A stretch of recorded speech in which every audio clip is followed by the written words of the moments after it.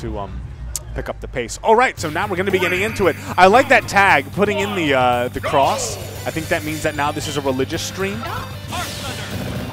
But anyway. Yeah, so we're going to be getting into this match here. And one thing is that both of these characters have a projectile. Of course, John Numbers, Wii Fit with that Sun Salutation versus Angel with his Arc Thunder, uh, just with all of the Thunder variants. But one thing we're seeing already is that Mini Thunder, the very tiny one, which travels very fast. It's something that, you know, Numbers, even if he shoots out a preemptive, oh my god, preemptive uh, Sun Salutation, it still takes a while to get going. So, so far it's been a very little good check Okay, but this is something that Numbers does. He murders you. It's one of his MOs. Uh, if there was like, you know, a police file on Numbers, one of the big things, the strings that tie him together is uh, he will murder you if you give him the chance. Especially with deep breathing, but deep breathing wasn't even necessary right there. And, okay, this is something that is also going to be very relevant in a matchup.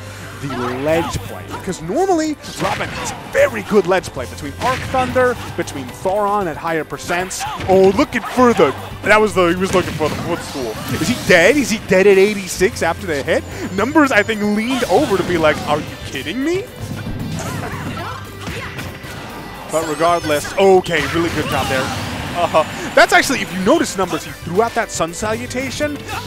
The Angel didn't get hit by it, jumped, but Numbers was able to run underneath there and catch his landings. Sans jump with that up smash, and all of a sudden Numbers at 142%, or sorry, at 42%. That's all there is, and oh, interesting. Numbers actually went for, I, I think that's really interesting. The fact that when he was trapped in the corner there, he went for roll backwards. I think because he wanted to position himself just a little bit further back so he could get a grab if that was how Luigi just had, uh, if whiffed in that particular way. Oh, this could be really bad for Numbers. Way deep off stage. The angling of that up B was so good. Numbers definitely not expecting it and good get-up timing. Bart Angel is one step ahead, making sure that no, even if he's you know using the invincibility to dodge the Arc Thunder, he's still going to get caught by the grab. Finally, numbers back on stage. Oh, and a parry to F tilt already 78%, 91 and growing. Angel, I don't know if he has a jump off stage. Numbers trying to get that backwards hit of that forward air to spike. Oh, he wanted that. He wanted to grab his little sword there. Numbers definitely has done some cheeky things. Ball coming down. No, okay. I thought the ball was going to come down. Ooh, numbers. He went for like a run-up jab. But Angel kind of anticipating it, rolled out and got that nice punish. Able to take the stock right there. And at this point, it is no longer unfeasible for Angel to take this. It's going to be very difficult for him. Numbers is not the kind of player who can get shook very easily. He has no up. It doesn't matter. Yeah, F-Tilt's going to kill outright. Get fired up. Yeah. Numbers looking very good right now. And so, I mean, if we had to break down how that game went, numbers, they, were going back and forth pretty reliably. But then all of a sudden, numbers would have these moments where he would hit him and do like 50 to 60%. Whereas Angel would get a, you know, win an interaction and maybe put him on ledge and get a little bit of chip damage here from Arc Fire. There was that one point where he killed him at freaking 60 the back air, but like beyond that, I think Numbers is just kind of outperforming once he gets a singular hit in. And I mean, that makes sense because if you're Angel, it feels like normally, you know, Robin likes to rack up damage when the opponent is at the ledge. But Numbers, let he's at home at the ledge. That's where he willingly puts himself.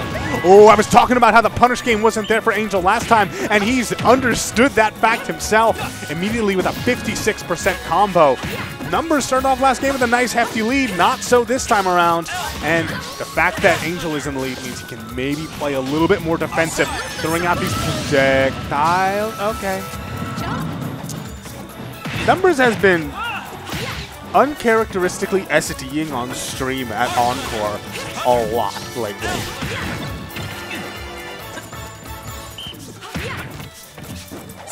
Oh, nice job catching that roll in. Dash attack, I don't think he has a jump. And Numbers getting the back hit, but not the spike. And that's gonna, oh, this could be it.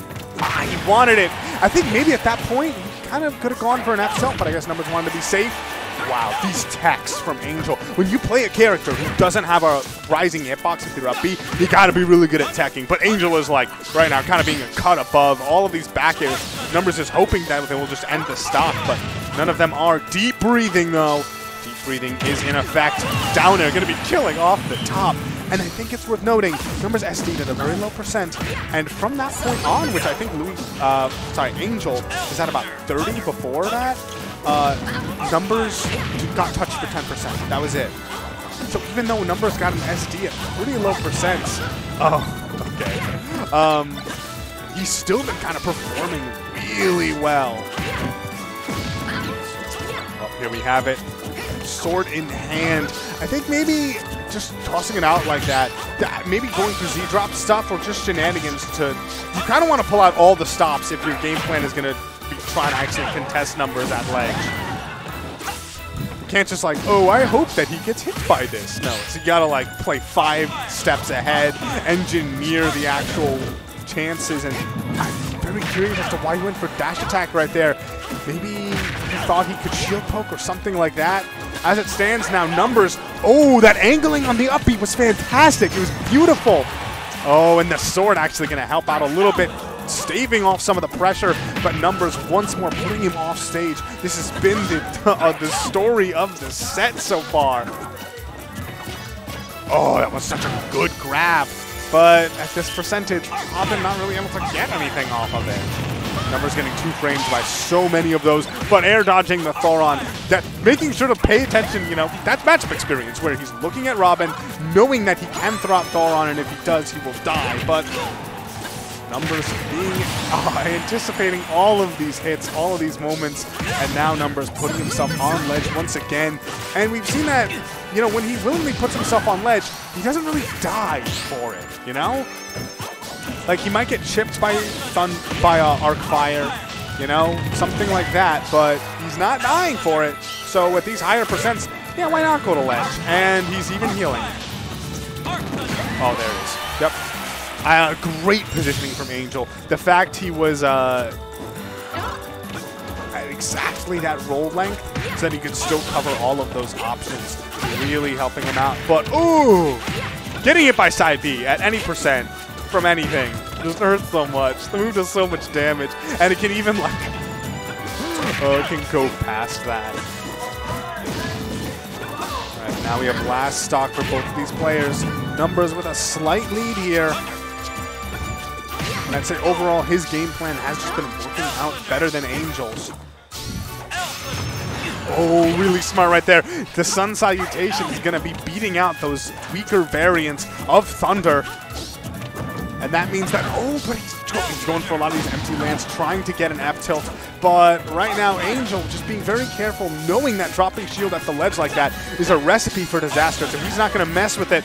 The crouch from numbers, it's something he's incorporated into his game plan in this game too. And it's really working. You know that when you shield that sort of move, the Arc Thunder, just like that, you can get grabbed, you can put off stage, you can get hit by the Arc Thunder, you might die! I don't even know what happened. It seems our fates are joined. That was boobity bobbity. Did did he DI outward? Did he DI into the blast zone? It didn't look like he was gonna die outright. Well, so we do have 1-1 now between these two, but it is worth noting yeah, so it is worth. yeah, I'm with you, Bars. I don't know exactly what happened, but you know, so Angel took that game, but numbers gave him a stock basically. SD at relatively low percent at like around 60 or something like that. However, you know, at the end there, there was one stock apiece, and Angel took it. So it could be that whatever game plan numbers was having isn't quite working out the same way it had been. Numbers, of course, also a fiend of adaptation in his own right. Oh. And so, yeah, Angel hasn't even been able to touch numbers yet. 75. Oh, but that dash attack on the shield. Shielding in the corner is something that Angel's been doing very consistently, and it's been working out for him. But if numbers, numbers just starts to pick up on that sort of thing, he can be getting forward throws, putting him off stage pretty deeply. And if he has deep breathing, that move can sometimes kill, at higher percents at least. Oh, numbers trapped that ledge. That forward smash barely whiffing, but that back air almost took it. At 68, numbers almost died. But with deep breathing, not only does Angel have to be more scared, but Numbers does take reduced damage. I'm pretty sure that hit would have killed if he did not have deep breathing, but it doesn't matter how deep your breath is. Getting hit by a neutral way off stage like that, Angel is looking great right now. Numbers is the one who has to figure out, engineer a way to take this stock. Getting grabbed with a fantastic mashup from Numbers. He has Sun Salutation in his pocket. I think he's trying to find some way to land it. He does, but at this percent, it's not actually enough to take it just yet. Down tilt at the ledge, trying to find some way to actually end things and even up the stock count. Oh, that's something we saw before. Rolls right into him, but Angel positions himself perfectly. Earlier on, we also saw numbers SD at these lower percents. it's something that could happen if numbers SDs right now. He's going off stage and doing all sorts of silly things out there. If he SDs now, it's that's curtains for sure. Sun Salutation online. Just throws it out there, but beautiful job right there. Baiting him, catching him, you know, with that added shield option. And oh no, numbers though, getting hit by all of this damage at 77%. Go attempts the ledge trump, but numbers buffering his option means that he's now once again with a little bit of stage control, but only for so long. Breathing in effect means it could lead to huge damage. Gets hit by the last hit of that arc fire. Whatever advantage numbers might have gotten from that, it is gone. He's once more at the ledge. And earlier on, it felt like he was going there for fun, you know, just having a grand old time. But now when he's at the ledge, it feels like he is trapped there. Throwing out these arc fires. Beautiful timing, but no shield. It's the size of a Skittle. Oh, once more the Sun Salutation. The fact it can beat out these projectiles has been huge for him, but I'm liking the adaptation right there. Angel throwing out some of the smaller, quicker thunders just to check numbers when he's trying to throw out these projectiles. Where are you going? He's dead. Oh no, the SD comes back and it's Angel who bites it this time around. But this could be it. Down throw, no forward throwing numbers. Wants to get him off stage. And oh no, all this damage, 59%. And without any rage, Angel, that uh, back air somehow not killing. Numbers alive at 147. That one's going to do it, though. It does, and we now have a last stock, game three, between these two players. It has been going back and forth all night between these two. And, oh, Numbers catching that jump, calling it out hugely with the forward air.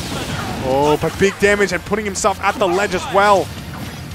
Once more rolls right into it. The timing from Angel just so good. The, so the, the, soccer ball actually getting in the way of numbers right there. That Sun Salutation would have landed, maybe giving him a little bit more damage and maybe some stage control, but instead, once more, he's trapped at the ledge. 74%. Another Arc Thunder. And, oh, that trade going to be working out for numbers.